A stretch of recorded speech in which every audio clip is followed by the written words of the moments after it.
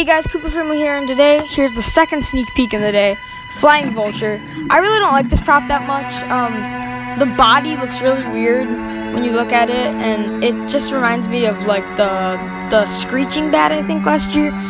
And I didn't like that one that much. That one was really forgettable, but I wonder what this could fit into. Like, what do you guys think the themes are going to be this year? Um, yeah, I really don't have a lot of a lot to say about this one. I just I think the only real like like really good thing about it is the face. But yeah, guys. Um, so tell me what you guys think of this in the comments, and please like, comment, and subscribe. Bye, guys.